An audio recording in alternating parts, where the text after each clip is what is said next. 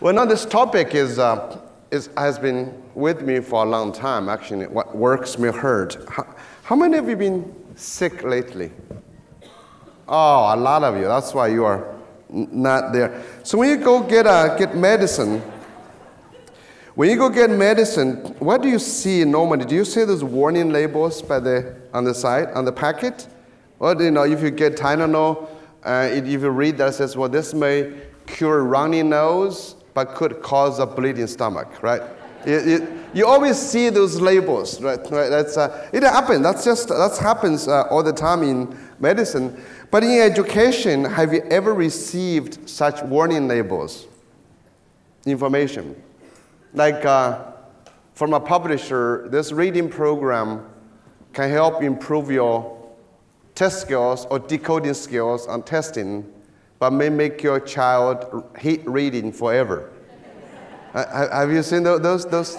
You've never seen those, right? Why is that? You know, because in recent years, you know, we, we've been very much into the idea called uh, evidence-based practices. Have you been to evidence-based practices? Have you heard about that? evidence-based practices. Uh, we've been talking up a lot about make education a science, and that's why yesterday I was coming on the great John Hattie out of New Zealand talk about visible learning. You know, the, that's all based on evidence, on science, and all those kind of things. But I've discovered that's actually, there's a lot more to medicine than education. So we like to always compare to medicine. You know, how, how did medicine advance? Because many people think it's just we collect evidence, we change. But the first question you need to ask is that what makes good evidence? What evidence of what? Right? That, that's the big question. Evidence of what? That's so. That, so I started thinking about this. Okay, so if you think about evidence, there's some some kind of issues that challenge me to think about. Here's something uh, I would like to to share with you for you to think about. So this is a very big study. I will, let, I will explain later to say. Early reading was associated with early educational success, but also was associated with the worse long term outcomes, including less overall educational attainment, worse teenage and adult adjustment, and increased alcohol use. So, you read early, you drink more. That's, that, uh, that, that's, the, that's the idea. Okay, so so this, this study, by the way, I want to explain to you about this. This is very scientific, okay? This study came from um, uh, in the 1920s when there's a person called Lewis Terman, the psychologist at Stanford University, who really invented the Stanford Binet IQ test. So he got into, he said he wanted to study does IQ really matter. Of course, he believed so. So he recruited over 1,000 teenagers, children like 12 and 13, 14 year olds in California. And these are the top one smartest people according to IQ test, highest scores, top 1%, 145 and above. And followed these people until they died. And of course, he died earlier, that Lewis Terman. Uh, and this study is called the termite study. Okay, the termite study. So they follow them every five or 10 years. They would follow up with them to say, how are you doing? You know, uh, are you healthy? Are you wealthy? Are you happy? You know, all those things. So it's a very longitudinal study. Then the discovery is this. For the smartest people, those early readers seem to not fare very well in midlife. Okay. So what does this mean? The outcomes. So, so this is one question for you to to ponder the questions. People suggest something. Because in education, one of the issues that we've been trying to do is like medicine in early days. In early days, medicine was very much into, uh, into, talk, into trying to figure out the cure that solves all problems. Do you feel like that in, in medicine? What we call we used to call the snake oil medicine, right? That's how pre-modern medicine was really trying to invent the, medical, the medicine that's going to cure all problems. We call snake oil. We still see them, right? Do you have see a lot of people people advertising like medicine to say, okay, this is going to if you drink this, drink this potion, that's going to cure all problems, make you feel better, you know, and I don't know, you make your grandmother who is dead and might come back alive. You have those kind of promises. But in education, uh, we have this kind of promises. Uh, they, so modern medicine got in because of major, major catastrophes in history. Uh, like, uh, first of all, we have uh, the uh, medicine that uh, caused the birth of deformed babies. That's after World War II. You know, those, those things. Then we have medicine that seems to be have cured somebody but caused long term. So modern medicine emerged by first of a mandate. All medical products must be safe. That means doesn't do any harm. So you have to, the first thing that modern medicine is to, you recognize all medicine is poison. That is, it is going to do harm to you. So, oh so that's why today, we the first we study that. Thing. But in education, we have always assumed every education, everything we do in education is doing good. Do you notice that we always talk about this is going to do good to you. So whatever we do, we try to assume this good. So from education to be more like a medicine, I think the first thing we need to do is to understand anything we do that could do harm, like the early reading. So this is actually the, how I started doing this research. Then you began to think about how, how could this happen? In what ways that could happen? So I've been thinking about, you know, so this is, uh, in many ways it can happen because in education, we have different outcomes. That's like, like something. First of all, we have different subjects. We have different specialization. Like yesterday, I explained a little bit of this. If you want to be good in this way, you have to give up on something else because time is a constant. Time is that you cannot expect yourself to have more time, you know, because you just study math. You, you can also be good at this and that. Some subjects are associated with each other, others are not subjects. Then we have this, this uh, cognitive versus non-cognitive skills. And this is um, quite interesting. So let me show you something about cognitive versus non-cognitive. We all love creativity right? People want, everybody should be creative. We love that. But how come the more you go to school, the less creative you become? So, like, you know, we, we measure children at age five, 98% of them are creative at the genius level. 98%. But after five years in our schools, not your schools, maybe other countries' schools, you know, it's, uh, uh, and when they reach year 10, age 10, I'm sorry, age 10, you look at only 32% maintained the same level of creativity.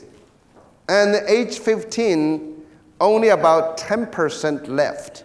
So this is, how could that happen, right? Is that we become less creative you know, as we go to school. And, uh, you know, you can, this is actually quite interesting. So we learn to be less creative. We get to become uh, age 44, you can see about 2% maintained the creativity of genius. Of course, you're happy. Retirement is there. Uh, after retirement, we become more creative. Creative gets bounced back a little bit. How could that happen? How would you explain that? It's, well, it shows you to you that creativity can be malleable. But also, when we go through our life, we learn to be less creative. Retirement brings back, basically, shows to say, I don't care anymore, right? I think a lot of you have something looking forward to. Uh, you can behave whatever way you like in after retirement. It's, uh, and, but this shows to you that how schools can be damaging to creativity so some study, uh, another research, uh, piece of research was uh, quite fascinating. So this is from, um, if you can read, you can read this article. Uh, it's called Why School Shouldn't, Preschool Shouldn't Be Like School. This is from neuroscience research. And their finding is quite interesting. That is here. It's basically more than neuro research, neuroscience research. Shows teachers always been right. That direct teaching, direct instruction can limit young children's learning. That is, they, they say that teaching is a very effective way to get children to learn something specific, but it also makes children less likely to discover unexpected information and to draw unexpected outcomes. Yes, teaching can make you less creative. So this research, the experiment comes from like this. So this is um, two scientists, I think from MIT and uh, UC Berkeley psychology lab. So they were doing this on four-year-old children, you know, very young children, and to play with a toy. So they divide these children into different conditions. In one condition, the children were told how to play with this toy. You squeak this box, you hear the sound, you pull this lever, you do that. In another condition, which basically the teacher or the psychologist said, wow, children, I don't know how to play with this toy. You know, can you go play and discover what, you know, what this can do and how do you play with it? As you can imagine, under the first condition, the children quickly learned how to do it, but then they quickly lost interest and they did not discover anything new. And now, under second condition, the children played with the toy for much, much longer and discover new ways. And they try to find new ways to do it. They invented new ways to do it. So, this is, again, when you teach, when you're doing one thing, are you going to cause damage to creativity? So, this idea called modern science is that medicine does this all the time because they have different outcomes. Like, for example, you can, as I said, take the medicine to cure your cough, but can truly cause you to be drowsy in education. And education, a big message here is that we cannot expect one thing to provide cures to all, and there is always a trade off. So, you should talk to your policymakers, ask about what do we care? What matters? So, in this one little study, do you care about the children's creativity or do you care about how much they know the knowledge? If you expand this a little bit more, let's think about reading, think about math, think about history. A lot of times in our content standards or expectation of grade one, grade two, we always rush to say, okay, this is, these are the facts you must know now, and a lot of our measures based on that, and then you move on, you're actually causing damage to children later on. Is that worth it? So this is another called outcome. We need to say, okay, is New Zealand a country that prides in our creativity, or are we proud of our children being able to memorize how many prime ministers we've had in the past? And we do that all the time, right? So we have this urgency. So this has to do with um, another big study we always know is called the early reading. Early, I showed you early readers drink more. That's uh, if you guys want to, uh, you could. You have become a, a, country that drinks more. That's that's always good. It's uh, and uh, because you make wine, it's, it's this is good. It's uh, uh, so the, this another another series of lot of lot of research has shown the, the same thing. But what what actually comes down to the fundamental question you shall ask has to do with um, this idea of um, what matters in education. Since we know there are different outcomes, what matters in education is something that everybody should question in, in all our pursuit. And I don't know in, if you have, you're aware of this. This is uh, the Polynesian, this is actually on Easter Island. The choice of outcomes that matter to a nation is really important. Easter Island was discovered later on by Westerners going in there. Many people had questions why do they have these giant stone statues? Who built them? That puzzled a lot of people. And many believe maybe someone from outer space or others created. They said, locally right now, the few thousand people living on the island could not have produced these things. So that's the puzzle. The anthropologist discovered, indeed, their ancestors of the people living on the island created this. And it is because of this creation that destroyed the civilization. And Israel, they had, a, they had this huge, very thriving civilization a few thousand years ago. But they got into a different way of thinking.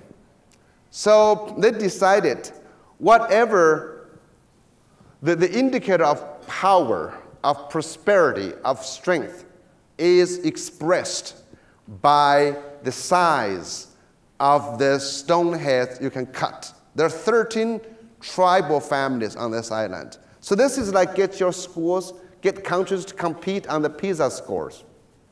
Right? And you know, the, the international test is like set up countries to say, you know, whoever can score higher, you have more, you have a better future. So these people believed if they can cover the bigger, gigantic stone, they would please the God, and then God will bestow a better future for them. It's again like a PISA, right? It says, okay, you, we test, you get a better test score, your 15 year olds will, will thrive better in the future than other countries. So people got in this competition, they got in the contest. And in order to carve out the stones, they have to move to the other end of the island, cut down the giant oil palm trees, transport them. Basically, people neglected everything else and did not take care of animals, they did not take care of their fish or boats. They just were devoted all their energy to build gigantic stones. And that caused the collapse of the civilization. So choosing the outcomes. What matters to you? Does test scores matter? You know, so this is why you can think another way. It's, uh, in America, you know, for example, a lot of education reform efforts in recent years have been driven by international tests, have been driven by so so the U.S. has always justified its reform efforts based on the idea that America is in decline. American education is getting worse. So that's the definition. I think a lot of politicians, including those in New Zealand, Australia, have always tried to justify that we are getting worse than other countries. Therefore, we need reform. We're losing the global competition. So this is how America has been arguing about that. So I said, okay, is that true? After some historical examination, I discovered American education is not in decline, is not getting worse. It has always been bad. it's been bad for a long time. So based on test scores, again, so this is the US. 1960s, 1964, actually 65, that's the first international mathematics study uh, began. And uh, so you can say in the US, in the first international mathematics study, Americans 12th graders ranked 12th out of 12 countries.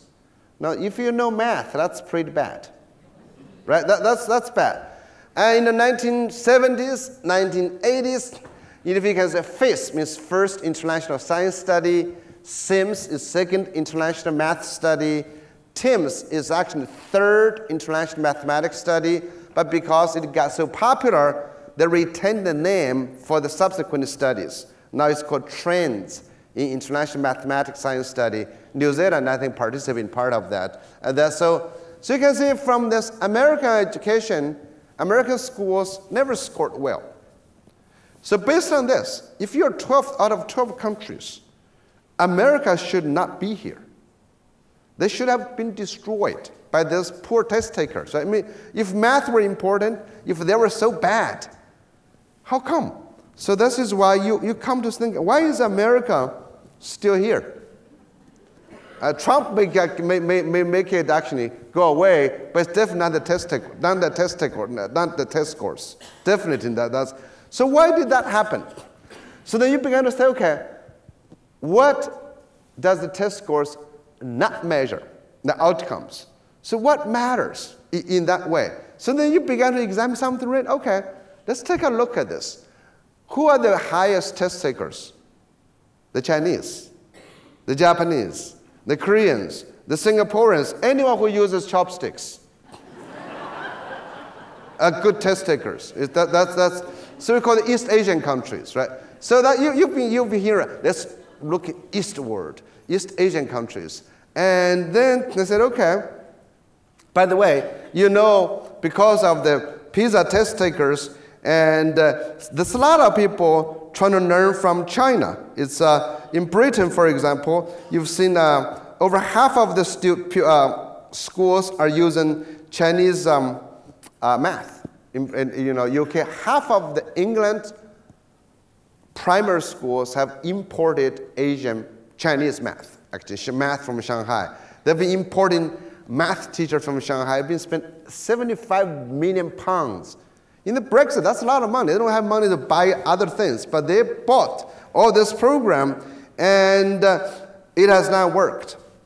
Just two years now, they just released a report.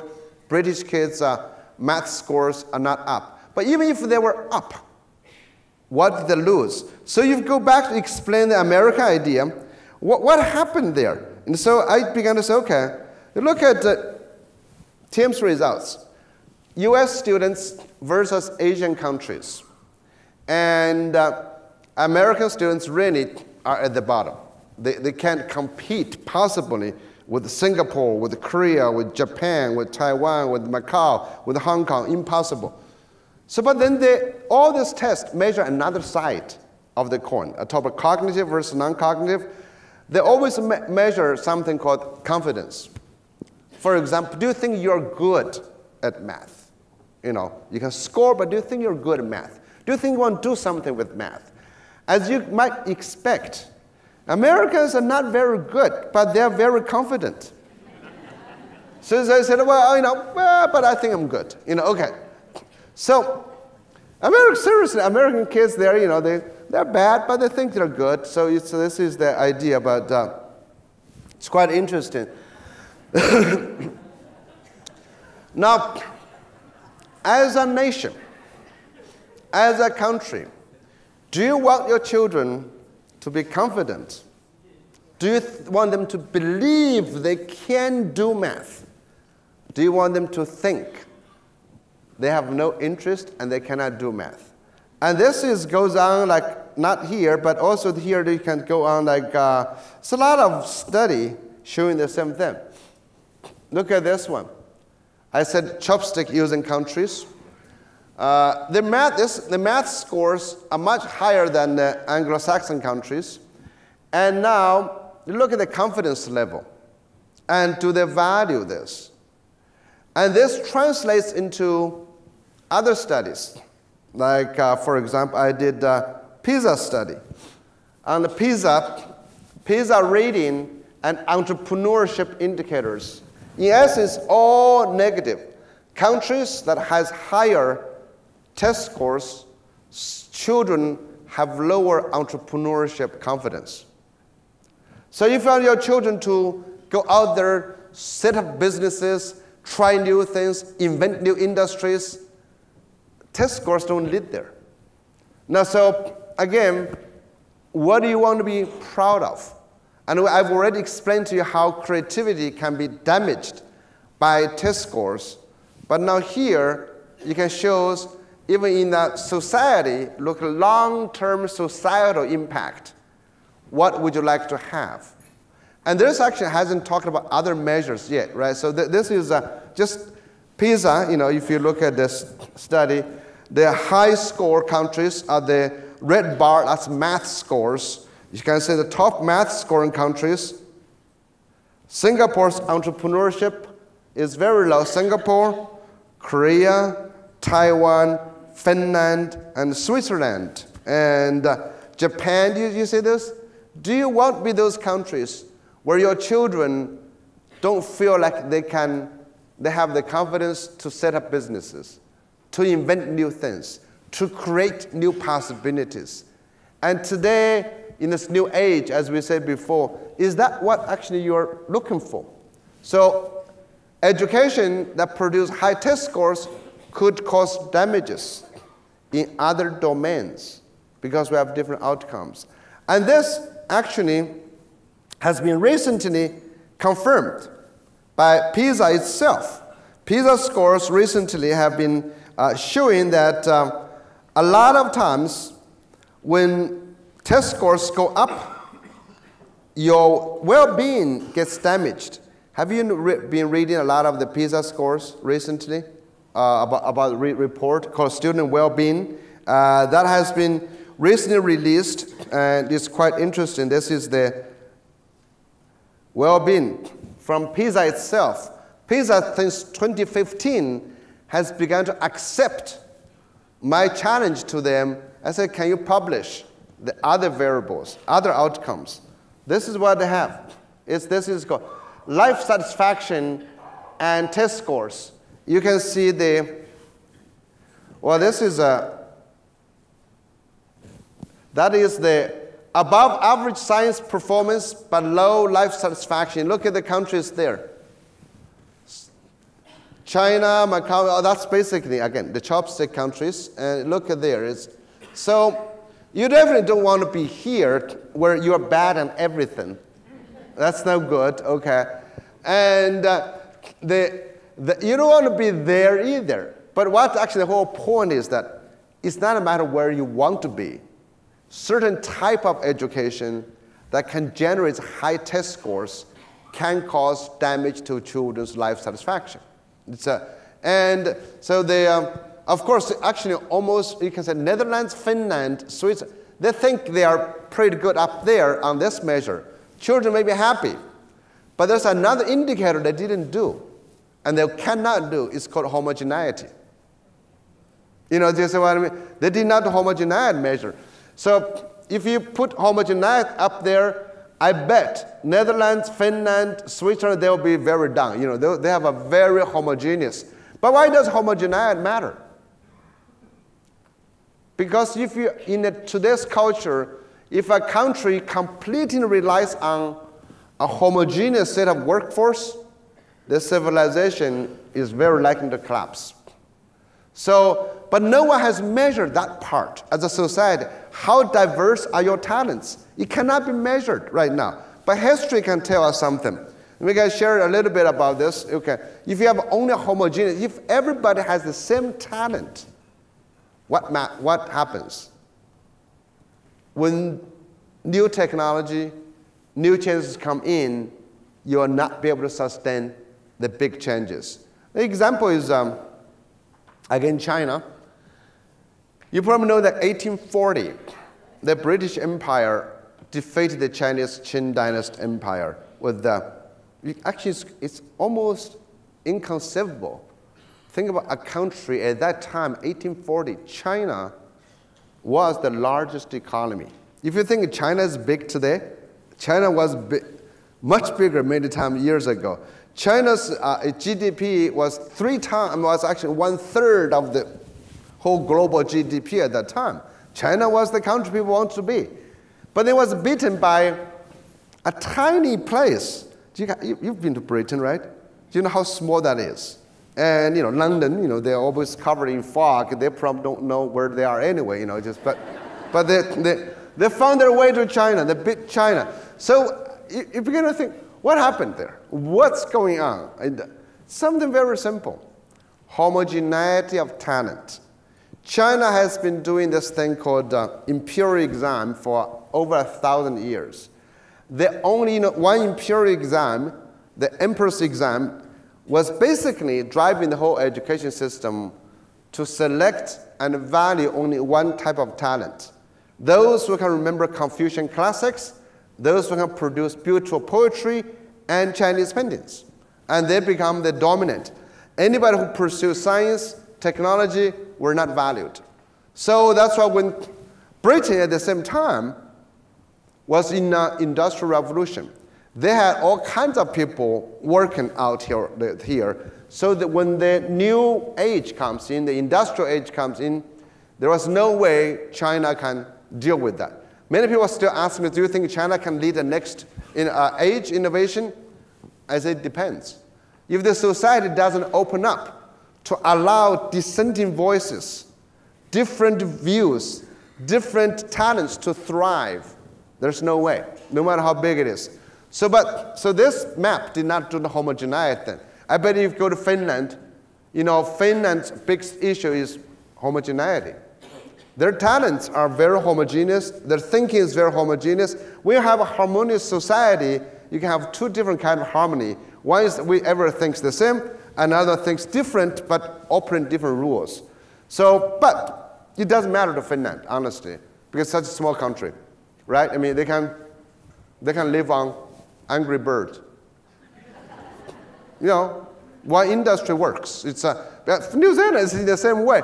However, as a, as a global society, what matters? So America, don't, if the test score, why is America still here? It basically says American education has, it's bad, but has allowed something amazing to, to, uh, to be there. So I said, you know, if you think about every education system is trying to become a sausage maker. Remember yesterday? Like yesterday I was showing you that how education is trying to homogenize people, how to make people the same. That's what education was yesterday. So like, let's call sausage, uh, sausage makers.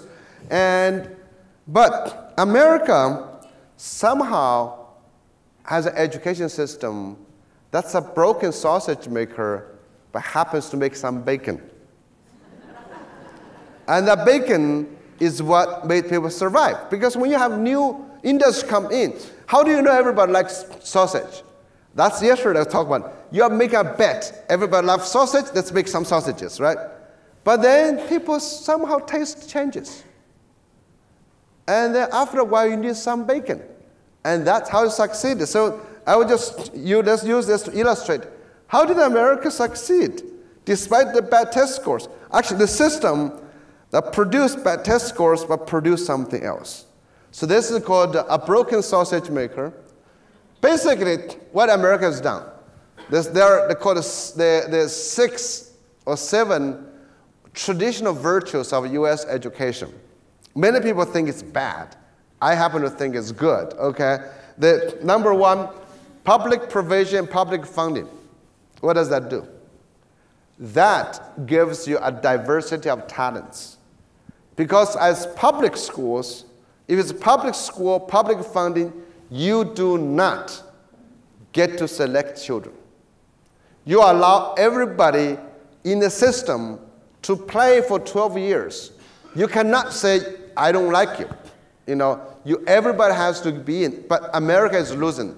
By the way, I have very little hope America can continue because America is losing all of this stuff. Okay, so, so because America is allowing more charter schools, more privatization, more marketization. I hope you will maintain this idea that public provision, public funding are very key. That is, we allow everybody in our school system. I'm not going to explain separation of church and state, but general ideas that, you, again, you maintain a system that is not driven by one set of ideas. And then you will enable more diversity in your talent. But local control and decentralized, open and forgiving, these two are very important. These two. I know in New Zealand and other systems, they like to, because people in the age of efficiency, like what OECD and PISA and Andreas Schleicher, they've been promoting.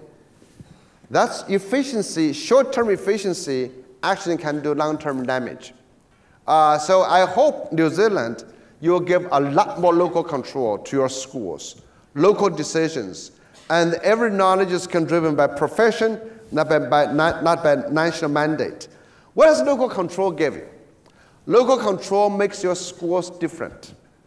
Local, you have you respond to local community, you have local leaders, you have local students, parents.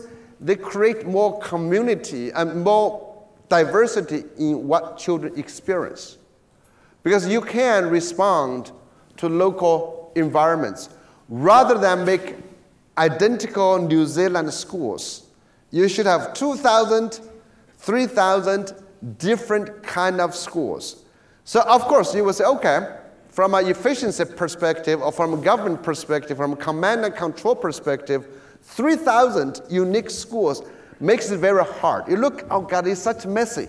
It's so messy. You know? And some of them will not be so good.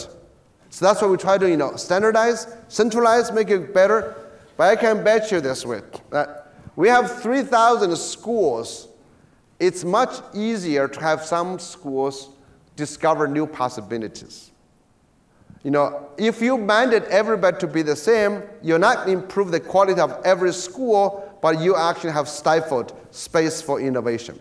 That's, so America's allowed these local schools. America's one time over 100,000 school districts. So even half of them fail, you have 60 left. And this is why in the US, uh, people, you know, today I know many countries began to admire authoritarian countries like China. Or they can pull the whole country to build high speed rail. They can do all of those things. That power can do good, but also can do tremendous damage. And I think one, one Supreme Court judge in the US said, it's a good thing America has 50 countries inside, 50 states. You know, if one state fails, others can learn from that. But if 50 states behave the same way, why would you even have 50 states? So local control is very important. And of course, the open and forgiving. American education, I think was like New Zealand education, used to be very open and forgiving. That is, we do not predetermine you at age five we do not predetermine you at age 18, or we do not predetermine you based on a test score. We do not define you with a test score. In Singapore, in Korea, in China, in Japan, they are not forgiving. If you fail one test at age, let's say 10, your life is predetermined. You know, we, we define, I hope New Zealand schools will not try to determine your kids, determine their future by giving one test. This is also, by the way, brings another point I want to make is that today we have so many diagnostic tools. Early diag- diagnosis has become so prevalent. It's a bad idea. Do not test your kids like age 5, age 10, and determine to give them prescriptions. Do you know we were so eager to do early detection? That's horrible. You know, when you do that, you have narrowed the path you have actually deprived them of possibility to reinvent themselves. Uh, but America didn't do it. So make it a loosey-goosey system. You may not test well, but actually it's a better, more human society. So this is about the American. Why is American education still here despite their horrible, horrible test scores? So this is what works may hurt, but also what works may hurt can show up in other domains. So you can think about, when I talk about cognitive versus non-cognitive, test scores do not measure other important things, such as creativity, entrepreneur thinking, resilience. And then we have this non-cognitive versus non-cognitive. Basically, there are some personalities that don't go together. Something we try to pursue that do not go together. Let's take uh, um, yesterday actually. We, we, we talk a little bit about this. Uh, we invent new concepts all the time. And yesterday I talked about the four C's. Yes, that can be called non-cognitive. But the four C's, do they really go together? You, you can think, can you be collaborative and creative at the same time, for example? Because we like our children to be, to be able to do all of this. But in my thinking, it's probably not very likely. Okay? Collaborative means you actually have to spend time in the traditional sense. Collaborative, you have to spend time to listen to other people's opinions. But you know, extreme geniuses, they don't compromise. They really don't, don't sacrifice. I'm sure many of you are here like, the, the same way.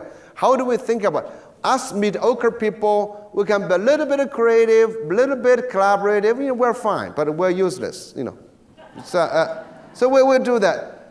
But if you want to be extremely creative, you really don't have time to worry about that. You know, so that is in, in your school. If, if you have children who have extreme deficit, has extreme genius. That's the basic idea. Because they don't necessarily go together. Okay, so, so do, you, as educators, do we want to suppress that Do you want to support that? And then we have this idea called um, instructional outcomes versus educational outcomes. What's an instructional outcome? Instructional outcomes are basically what do you try to accomplish on a daily basis.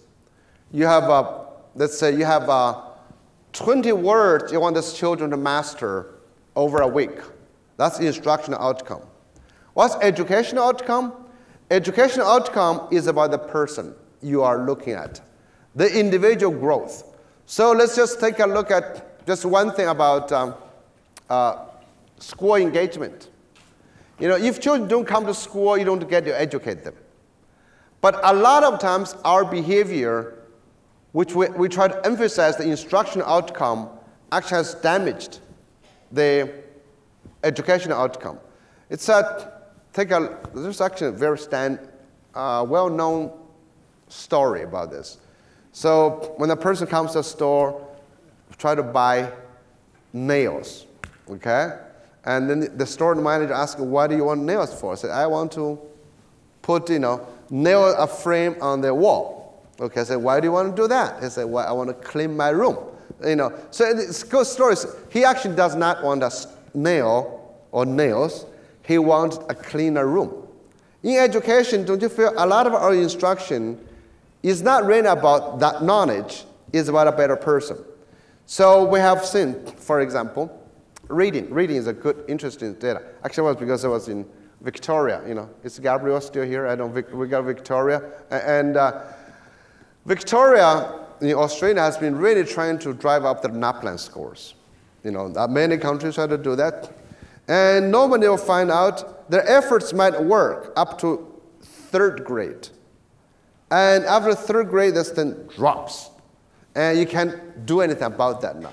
America did the same thing. America in, the, in under George Bush, we had something called the Reading First. And that's $6 billion given to poor schools to say, let's say, well, and they're using called scientific methods, read direct instruction in reading. And then they, after many years of trial, nothing happened. You can see a slight movement in the first and second grade in decoding skills. Decoding, okay? and then changes. So what happened basically is this. When you, you can move early reading by improving first grade outcomes, instructional outcomes. But that decoding skills got children hate reading, got children not having comprehension, got children not to spend time on content. So when, when you after third grade, reading assessment is more about comprehension. It's more about content. And so that actually has backfired. When you spend time here, you drop later on. So this is, again, instructional outcome short term to the long term educational outcome. And that happens all the time. So what, what are we looking for is also matters. Then you have to think about other outcomes, the short term versus long term. That is, we have this uh, idea, sometimes we call it um, productive success and unproductive sorry unproductive success and productive failure in education long term so you sometimes when you teach you know like uh, reading uh, that's an example you teach this decoding skills you may say this all the time by the way that in, in teaching it looks very successful now but you've stopped children from exploring, like those toy plane ideas. The same, a lot of times you may have productive failure. In the beginning, you know, you talk about learn to be resilient, learn to do something. So a failure may actually be more productive in the long run than right now a short-term success. I hope you can think of, contemplate about that. Think about that, that case.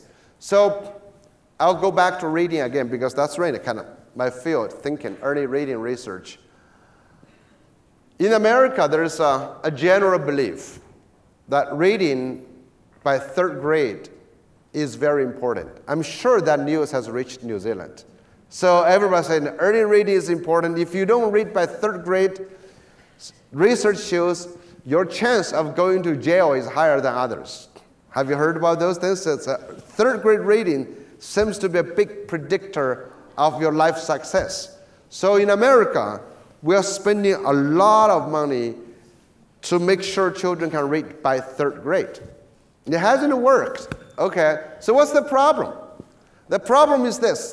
First of all, people don't understand causality versus correlation.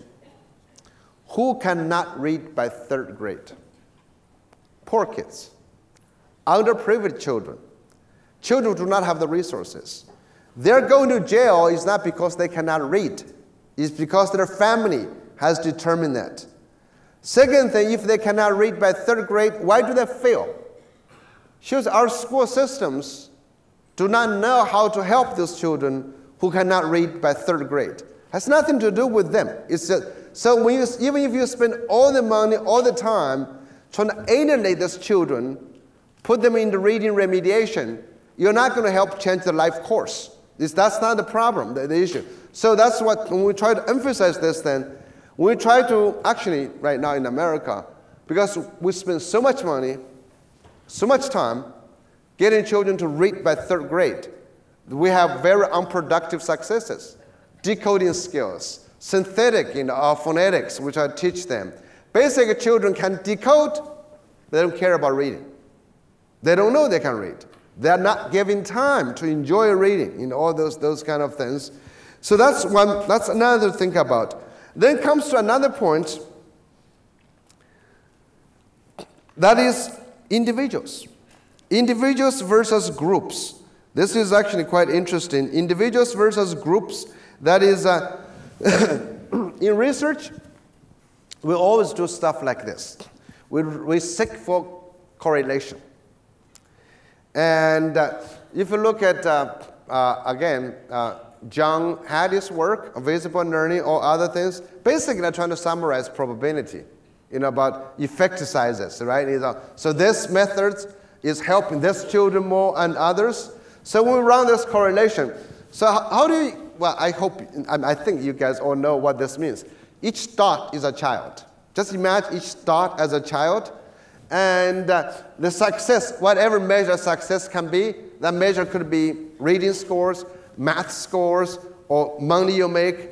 And this one is whatever factor you can use to do this correlation. That you just don't, this can be intervention. Okay, just ignore this one. So what do you see if you are in this, um, in this quadrant? If you're here and there, you drive up. So you align, basically you benefit. The higher you have, the more you do something, the more successful you become. Okay, so this gets 0.5. That's very significant. But now if you look at those three children out there and there are many children over there, they are the opposite of that. Means so they are the ones who have been hurt by these methods. So if you think about all your systems in your schools, when you do one methods, you know, do one way, you have some children benefiting, some children get hurt. So this is like a, a medicine. You, if you try a medicine I give to, to 10 people, and I kind of helped five and killed another five. Okay? So I kill another five, but the correlation is still high. It's still significant. Should we allow that medicine to apply? We don't. Actually, but, but in education, we do this all the time. We, we just give to our, we say, okay, if it's significant here, let's apply to everybody. So your Minister of Education, professors in schools of education always come to say, okay, look, the significance is 0.5, it's 0.3, let's use it. But for whom?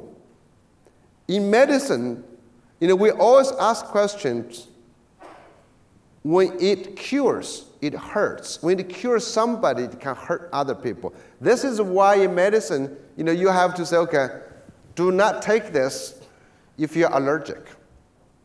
Do not take this if you are pregnant. Do not take this mixed with alcohol. We specify conditions. Under what conditions does this method work for whom? Does this method work for whom? So here's an example. You know, there's, um, again, PISA Now, by now, you think I hate everybody, you know. Uh, I do, but, you know, it's a, especially things like PISA. So you might have heard of this thing. have you heard about this? Everybody has heard about this. How can you not? Okay. This is derived from PISA study. Your Minister, Minister of Education loves to hear this. The quality of an education system cannot exceed the quality of its teachers. It sounds really catchy, but it's wrong. Okay. So why is it wrong? A system has to start without teachers in the beginning. Who is the first teacher? Do you see what I mean? That, that's, that's more, more important. But that's not my point. Okay, my point is this to say, because of this, people began to derive to say, okay, what does, what does quality of teachers mean? You know, so they began to say, okay, a good teacher, this is actually the lesson they draw from. The top performing systems we studied, this is from McKinsey, uh, the top performing system, there's Korea, Finland, and Singapore. So they come up with this answer and said, okay, their teachers are from the top third of each cohort of graduate from high school. So this is why I know in uh, New South Wales, in Australia, has been trying to apply. America, many countries have trying to say this one. We want our teachers to be the top graduates from high school. They're basically trying to say our existing teachers are too dumb. They're basically, they're, they're, not, the, they're not the smartest kids anyway. So this has, has actually had a huge policy impact in different countries. I don't know if it's happening in, uh, in New Zealand, but it's still happening in Australia. So they want to mandate test of, of teachers, candidate teacher candidates. They want to you know, get more money to recruit the top ones. So they believe this is true. Well, first of all, this is actually not true. I talked to Pasi Sahlberg, they said Finland does not recruit students from top one third. But again, that's not the most important thing. The most important thing I found is this. Is this a longitudinal study research? You can read this one. It's from uh, Sweden. That's interesting. They follow a lot of studies Sweden, so therefore a lot of teachers, they track their high school performance as academic so basically what they find is that our results indicate that a general increase in teacher cognitive abilities, that's kind of high school testing, would increase achievement gap between high and low performing students, both by raising achievement of high performing attitudes and lowering it for low performing ones. What does this mean? This means those high scoring, high school graduate students who become teachers help high performing students but hurt low performing students. It's quite interesting, right? This is, that's what I showed you to see, you know, that, that thing. So this medicine, you know, you know, you can imagine those guys who score high, they come in, who do they like? They like high performing students, but achieving low, uh, hurt low achieving students. And then you can see basically said, well, high, high ability students benefit from being matched to a high cognitive teacher. Such a match is even detrimental for lower achieving students. Low performing students benefit from teachers with high social abilities, while the effect of teacher social ability had negligible effect on high aptitude students. So this is very complex. So as school principals, when you hire teachers, when you match teachers to students, what would you do? I would say diversity. Again, you want people have a diversity of talents a, a community of different kind of teachers, not as one policy to drive that. You know, so even the called high scoring teacher can hurt as well some students. Now, there's also other many other kind of studies we've been, uh, we've been tracking. For example, what uh, methods can hurt. I don't know if you do charter schools. You don't have charter schools here, right? You don't have those. Sort of, right? Privatization. But people are arguing for privatization competition. I'm sure that trend may come to New Zealand if it's not here yet. So in America, it's been talking about school choice, right? The school choice has become a big deal. So we need to introduce competition. So one form of school choice is called a voucher. Voucher, that is, we give money to the child and parents, and parents can take the money go choose to go to other places, private schools. Most from government school to private school. Donald Trump and Betsy DeVos than divorce. The new government in the U.S. is pushing this a lot. We take, you know, so government gives you money and you take money to do something. And this is a study by them. They call it it's a win-win solution that everybody wins. I said, really? So I, I can take that. I said, there's no, it's impossible to have win-win situation. Someone has to lose. So I tracked down their study. So this is what they claim. They said, they look at all the empirical studies. They claim that um, basically everybody wins. So I said, okay, that's not really true. Is that, let me show you this how, so they do the study. I said, okay, they claim everyone wins. Uh, this is the, by the way, this is how they use evidence to mislead. But I tracked the evidence and well, look on the situation that there are about some six studies has positive and eight studies positive for some and negative two and there's no implications. So this shows it's not true. So how did I do that research? So first of all, choice benefits some parents, some children. And in this study, we see parents of higher income, higher education level, their children benefit. Black parents, parents who have low income because they cannot provide transportation, they cannot make the choice, actually get hurt from this kind of choice of places. And also, none of this, by the almost all the studies so far, all the research so far today, only report one type of outcome. Only, that is test scores. That is test score. So almost all research today, you know, when do meta-analysis, empirical research, the only outcome they measure is test scores or grades. And those have very little actually influence of a children's future. So when you read, I, there's things I call them pseudoscience because science needs to have a value judgment. So when you read whatever, you know, I have, a, you know, I, am sorry to have kept mentioning John Hattie because his work has had most impact. Uh, I have no problem with John. He's a good friend. I like him. But his research is, can be very misleading because the visible learning only tracks instructional, academic outcomes, it doesn't say anything about, in, in, about other parts. So when you make use of those things, you have to be very careful to say, okay, what are we applying? What are we trying to achieve? And also, all those methods is about statistical probability. It's not about individuals. It doesn't tell you who has been hurt because of this. It does not tell you who does not benefit from, from this, this study. As in education, we as educators, as principals, have to be very careful in thinking about does it help everybody? Who does it help? So in my research, the whole idea, I'm just giving all of this stuff about this, but the many of you were trying to email me. I feel free to contact me. I'm going to leave some time for questions too. But this is my contact information. When I wrote this book, What Works May Hurt, the idea is actually fairly simple. If we want to become like medicine, to advance our field, if we want to become evidence based, we need to question, first of all, evidence of what? We need to read, that's something really important. I hope in, policymakers like to talk about evidence based.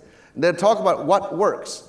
You know, America spent money build this thing called What Works Clearinghouse. Try to only allow government to fund research or methods that's been proven to be working. But you want to say, okay, working for what purpose? Working under what conditions?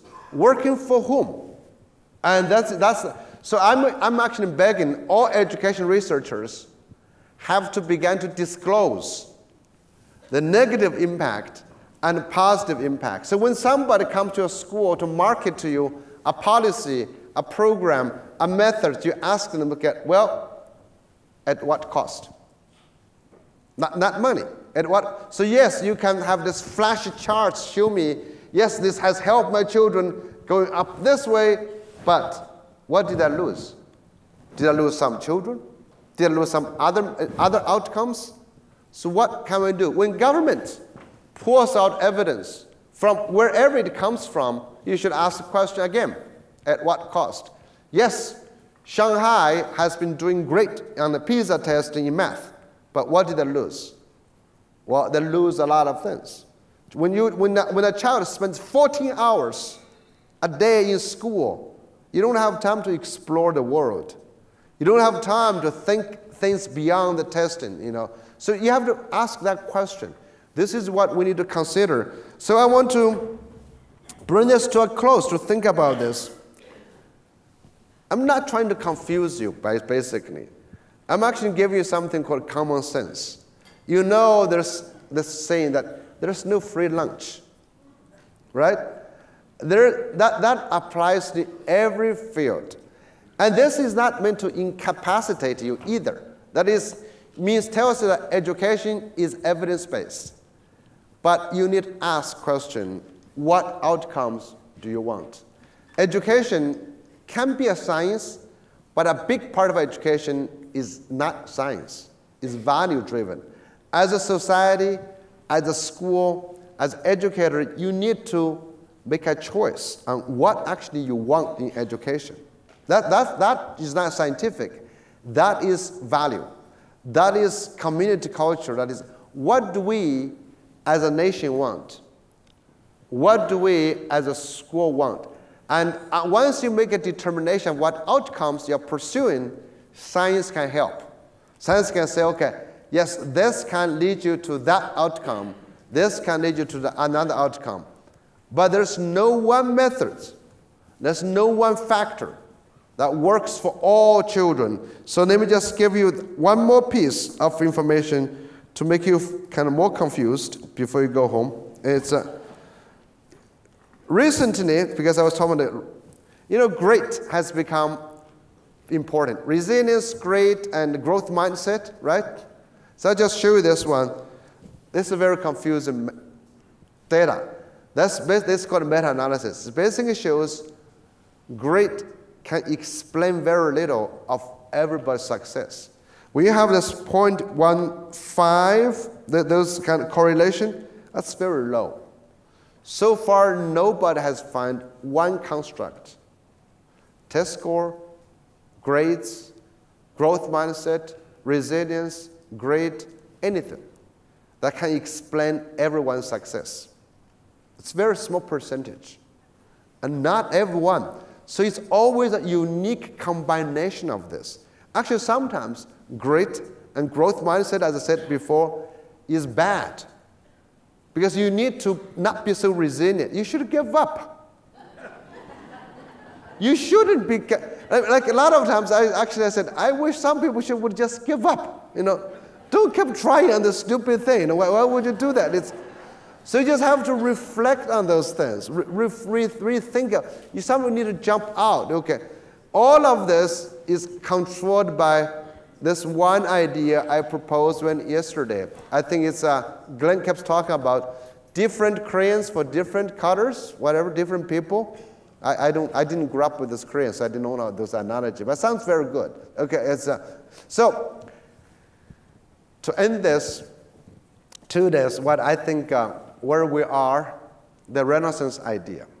Renaissance really brought us back to humanity, to people. I think Renaissance also is actually the beginning of enlightenment of uh, science, of science. But science is governed by humanity. Again, what you can do doesn't mean you should do. That's again, science has to be subject to human values. But in education, because we got into this empiricism, we began to say, okay, evidence. It sounds like evidence is so cool, but without questioning what evidence actually will lead us astray in education. So I leave you with one thing. If we can, we should revive the humanity in all of our education before we turn education into a trivialized or trivialized engineering endeavor. Education is a human endeavor. Thank you. Thank you.